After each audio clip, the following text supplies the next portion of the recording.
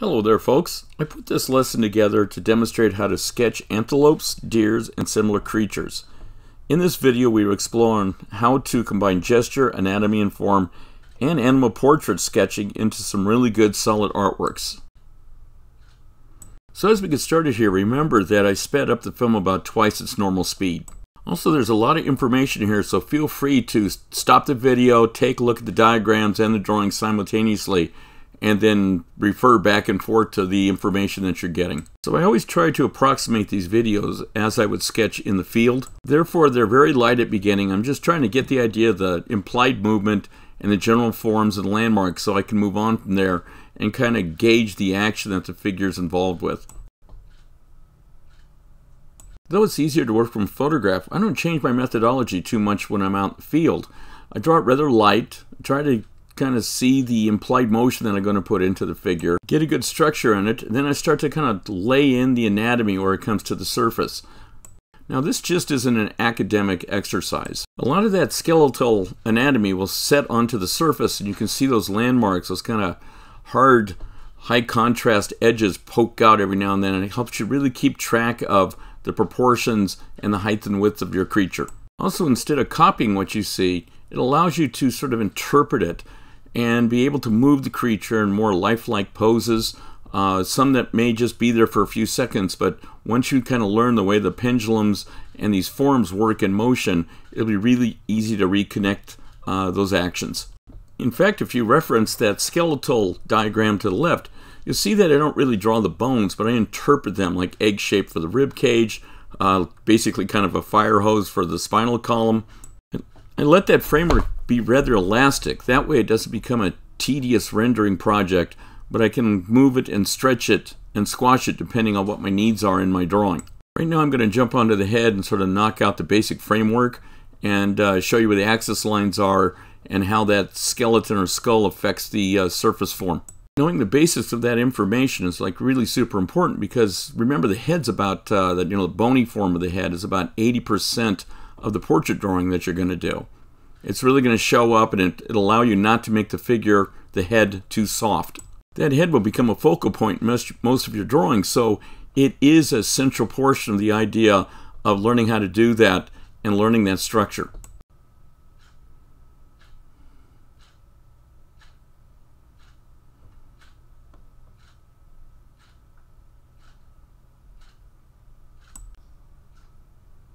We've got enough of that framework of the head done, so now we're going to move back to the uh, muscle forms of the body. Now, you don't have to be an anatomical expert to draw animals, but having some basic knowledge to be able to recognize and build form will take your animal drawings to a whole higher level. I've mentioned in previous videos how the idea of muscles, they can only pull, they cannot push. So a really good thing to keep in mind is dynamic form, is dynamic masses. So as the animal moves, uh, those muscles are going to get uh, larger on one side and uh, longer on the other side. The basic animator's trick of squash and stretch. But at first, I really don't get caught up in the anatomy. I think of it as like basic tubes and blocks, uh, pyramids, and then when I put the muscles on, I also simplify them into groupings. Uh, that way, as I build them up, they don't uh, fall into little tiny pieces of diagram, but they become solid forms that overlap one another. You know, doing all of this while the animal's moving is hard enough. That's why I take those forms, instead of making them more complicated, even though I have the knowledge of it, I simplify them down into basic building blocks I can organize and wrap my tired and confused brain around. To remind everybody that this is kind of built around quick sketch ideas. And you can see as I put the anatomy in, I sort of accent where the border of the bigger muscle forms are and where the bones come out to the surface with sharper, more angular lines. Also hinting at where the bigger muscle groups are with those uh, shadow shapes and a little bit of core shadows. Anatomically, one important point that I always try to keep in mind is just about below the elbows, the kneecaps, uh, what you do is you get mostly bone and mostly tendon all the way down to the hooves. So you're going to get some really straight lines, but at the same time, you're going to get the angularity that's going to be at those joints now I'm coming back in and reinforcing more of the form, even a little bit of the idea of the uh, fur markings on it. But even that, you notice those little cross-hatching marks are going around the masses. I'm not just putting it as decoration. I'm using those marks to kind of define and sculpt the forms that I'm trying to uh, get a hold of right there.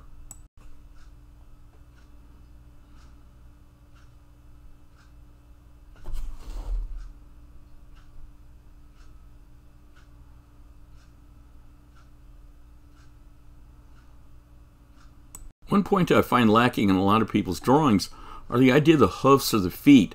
Uh, they never quite look like they touch the ground a lot of times. A lot of beginning artists draw them uh, rather rounded, sort of like if the animal is wearing socks. Instead, I'll draw them this way. Very triangular. Uh, make sure that the bottom part lays flat on the ground.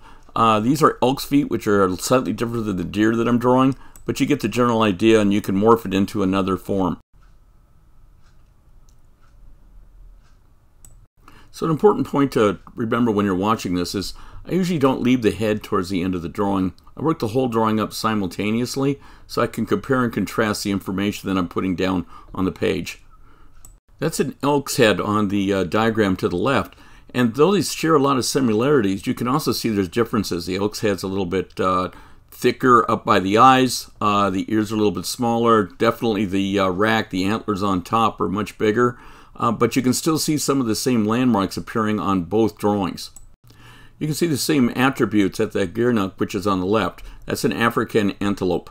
It's a smaller deer-like animal, but has more of an oblong head, a much thinner, smaller sort of muzzle on it. But as I break down the uh, diagram to the left, you can see some of the main points. Just the eyes are larger, the mouth is smaller, uh, the ears are about the same size. Next it comes up is this deer-like antelope uh, from Africa called the uh, waterbuck. And once again, you can see I broke it down to uh, sort of a elongated ball, uh, a squarish sort of muzzle in the front, uh, making sure the uh, ears have sort of a triangular look, and even inserting those curving antlers uh, into the top of the head.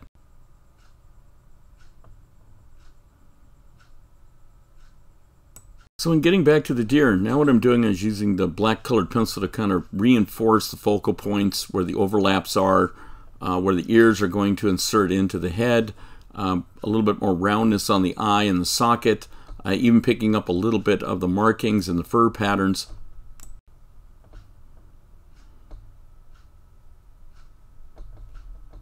So the drawing on the right I came up with is just about what happens when I go out into the field and draw uh, the actual animal. Not too much detail, try to keep the action as clear as possible and not overwork it.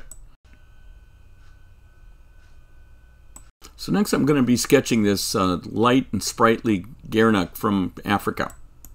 Perhaps you'll notice that in the gesture, I've already moved the neck, I'm moving the head down, I'll probably readjust the legs a little bit. Being able to judge the proportions and what the action of the animal does in relationship to the anatomy is really important because I can be very much more inventive rather than just copying uh, either the photograph or what I assume goes on at the zoo when I see it in person. In this drawing, I kind of reversed the process from the last one. I drew the form of the body and the neck, and then I sort of draped the legs around over the top of it, and then made sure that they hit the ground in the right proportion. When you look at the uh, diagram to the left of that larger antelope, uh, you'll see the same process, but in a different proportion and a different angle. But look how I definitely make sure that the feet hit the ground plane and that there's a sort of an implied movement and definitely a balance to it so the animal doesn't look like it's falling over. It's really on a solid ground base. I'm sure this concept's a little weird to wrap your head around, it certainly is mine, but I do change those forms into simple building blocks, literally blocks and tubes. Uh, again, just like I said before, just so I can kind of wrap my head around it and make sure that everything overlaps and the proportions and the perspective is correct. This really counts when the animal's in movement because they jump a lot and they're very, very active and very fluid. So to be able to take those forms and kind of piece the solid uh, sections together with the elastic uh, ideas of the joints and the tendons and the muscles is like a really important thing to uh, make your drawings much stronger to the eye. And as they twist and turn in space, it'll make your drawings much more believable and give you much more confidence as you draw them.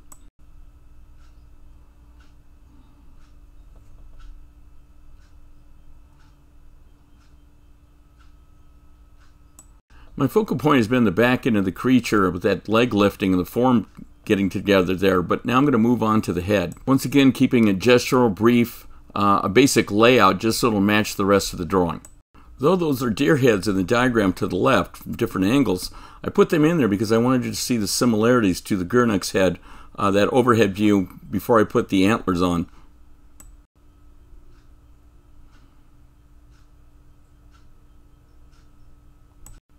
On the left, I added uh, some ink drawings, fountain pen drawings of some uh, antelope heads on the left-hand side so you can see the texture and the focal points and overlaps even down into the uh, patterning on the antlers. Though I usually don't get into that kind of uh, detail in my gesture drawings, all the same, it's very important to know that uh, if you're abbreviating it on a longer, say, portrait drawing. So I thought I'd put down some drawings and show you how I design a page when I go to the zoo and draw. Uh, usually, again, most of the time when I'm drawing, I'm sometimes putting up to four or five drawings per page. So frequently I have to combine things like, uh, say, animals that have more of a mass, like elephants, with thinner animals. Uh, again, they stretch out more when they jump and they move, especially since we're dealing with deers and antelope. And so I have to kind of look at those open spaces and be able to do things like even draw little portraits or animals that are standing or laying down, and then look for areas to sort of fit all of these uh, uh, drawings into one little space here. It's definitely more like putting a puzzle together, but it is good because what you're doing is you're using an economical amount of materials and uh, not spending a lot of time going through a lot of pages of a sketchbook. Another really important little idea to keep in mind is that you can do these like little abbreviated one or two minute long drawings and then set up the framework and be able to go back into them later if you need to and use photographic reference to kind of, I wouldn't say fill them in or finish them, but to give them a little bit more uh, information, which will make the viewer more understand the action and the body parts in relationship to the gesture that's going on. Because it does get a little bit abstract sometimes.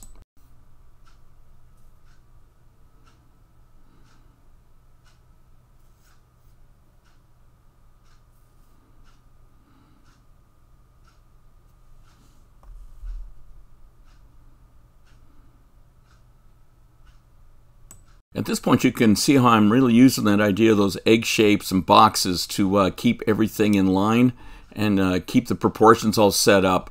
And then when I do attach anatomical information to it, it's got a really solid base to hang off of. Now I'm going to add this uh, camel to the mix here. And since it's a profile view and the uh, animal really isn't jumping around, it's more about form, even about silhouette and uh, more shape design, making sure that I keep the proportions uh, pretty clear. So perhaps you'll notice when I set the legs up, they're just lines with a couple of little landmarks for where the ankles and where the knees are, and even the feet.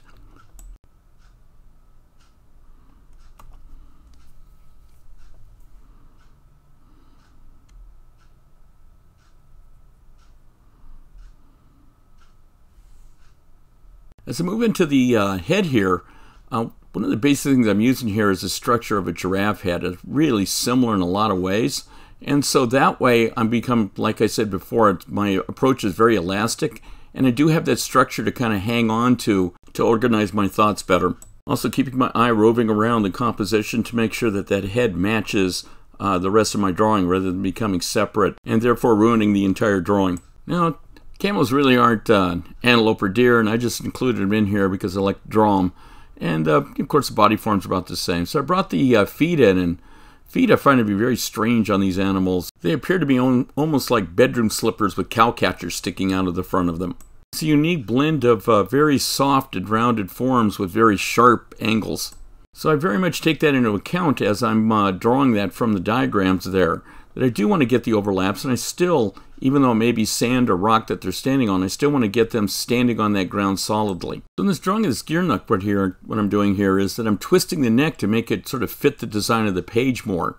Uh, again, I'm not so much into copying, but taking the photograph as an inspiration or even the animal doing what it's doing at the zoo because this will only take place for maybe a minute, a couple of minutes top before it gets tiring and then hits back to the ground.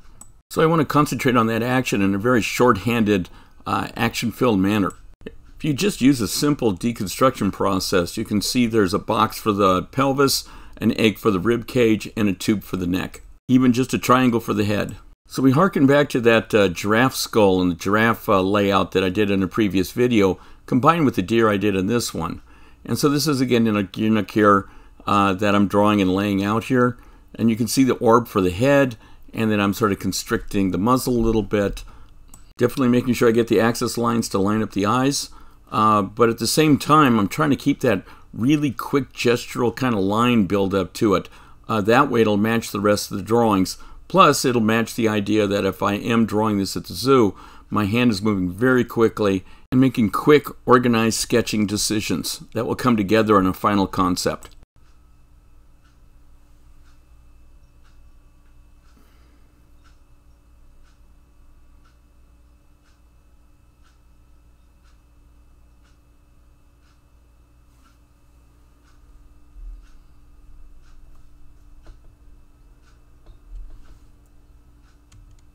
After a little quiet time, I'm uh, much more comfortable about the decisions I made, so now I'm accenting things like even the whites of the eyes. Personal decision I always make is I always try to put the eyes on the inside of the socket, that bony area around the eye and under the eye where the cheekbone is.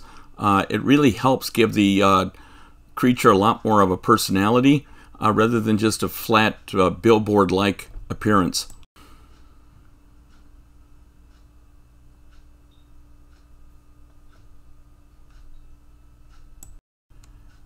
Here's a facsimile page of uh, perhaps uh, a page or a double set of pages of drawings done at the zoo.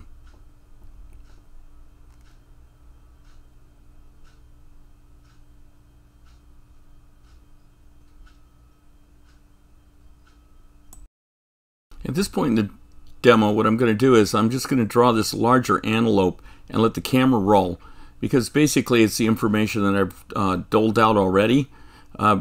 But there's more of an attention to larger forms and making sure that animal really, really stays, sticks on the ground with the center of gravity over the front of his chest. A lot of shape language decisions, a lot of overlapping, a lot of just really sort of flat decisions just to make sure everything works out on the page right before I start getting into anatomical details.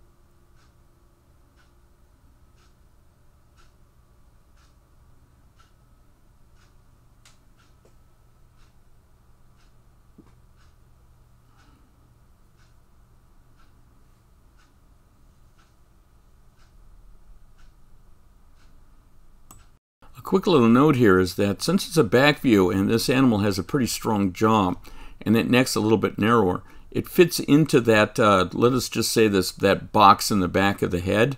And you can see the neck, the trachea of it also fitting in underneath that jawline, giving it a lot more sort of overlapping form. And you can see the same thing when it comes to the belly, when it comes to the uh, front legs, and even the back legs, and even putting the horns and antlers in where I really stick them in there so the idea that you can get an idea of the form across the animal, not just a flatness on the side view.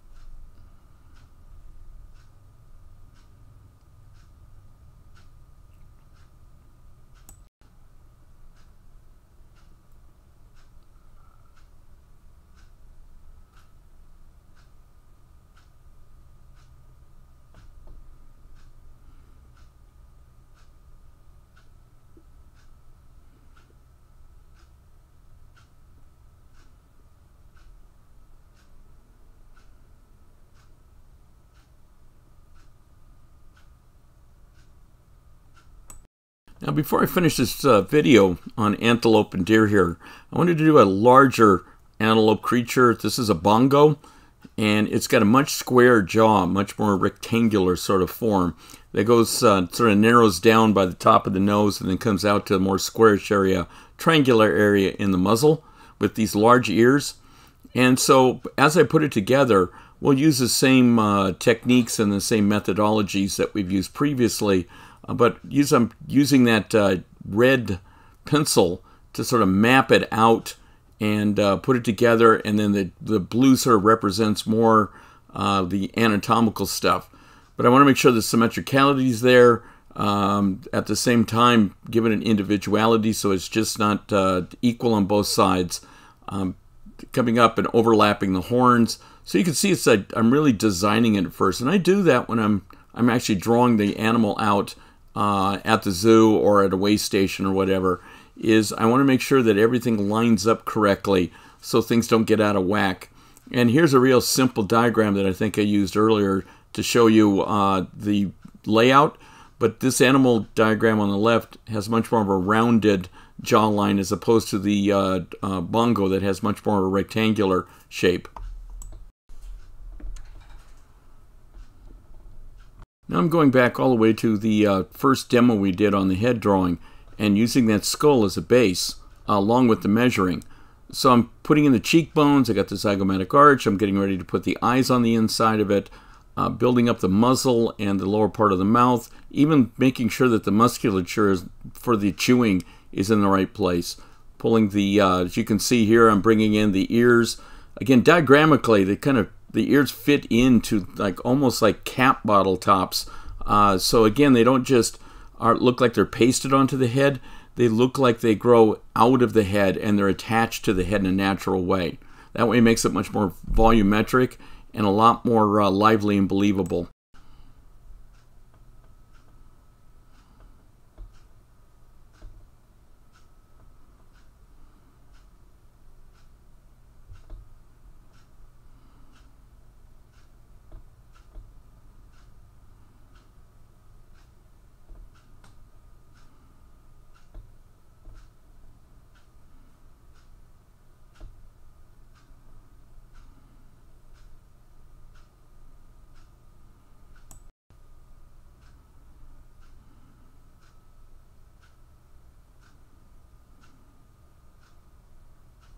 I must admit that the line's getting a little bit heavier than perhaps it would be if I was drawing this uh, out in the wild. Uh, but again, it's for a demo, and I'm trying to show you things like the angularity of that jawline, uh, the way that the lower mouth sort of angles off. You don't want to parallel. You want to, again, get that more natural uh, look to it where stuff isn't quite uh, symmetrical all the time. There's a brow bone I'm building up, sort of putting a little bit of shading underneath it readjusting the eyes a little bit. So yes, it does have its diagrammatical uh, uh, parts to it, but as I said before, this is 100% of the information, and frequently you're not going to have the time to be able to put all of this down. You'll have to abbreviate it and perhaps just use a small fraction or percentage in the field sketch.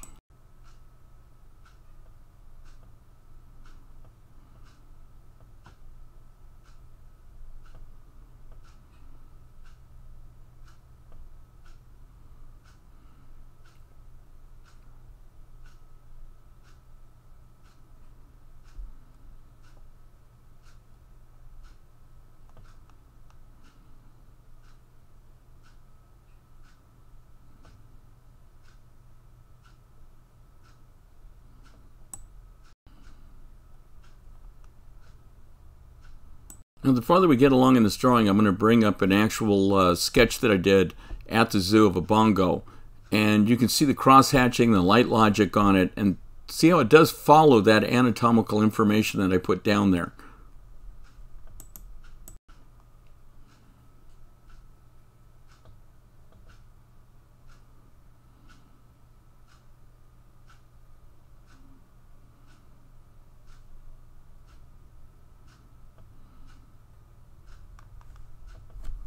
I want to make sure that you know that I'm uh, using mostly line in this so I don't obliterate uh, all of the decisions I've made uh, just for the sake of putting uh, texture pattern, markings, uh, fur, or light logic on it.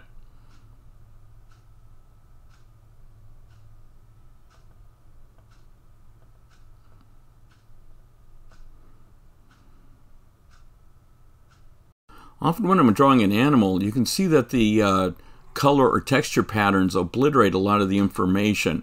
So the muzzle's like really super dark and black. But when I draw one of these animals, uh, whether it's big cats or uh, antelope, deer, or anything that has a dark marking to it, so I always pay more attention to the light. And so I have a tendency to keep the top of the head lighter and then fill in the darkness or even the markings on the side of the animal where the shadows are. I hoped you enjoyed this lesson and previous videos. All of these and a lot more techniques and illustrations are included in two animal drawing books that I wrote and illustrated. There's a lot of techniques and methodologies on wild and domestic animals included in both books. So in closing, I'd like to thank you very much for watching the video. And there's previous videos, and please feel free to uh, subscribe to my channel, Gary Draws and Paints, and look through the uh, library of different kind of videos that I put together, all the way from uh, figure, animal, landscape, and even form and vehicle drawing. Thanks a lot, and goodbye. Adios.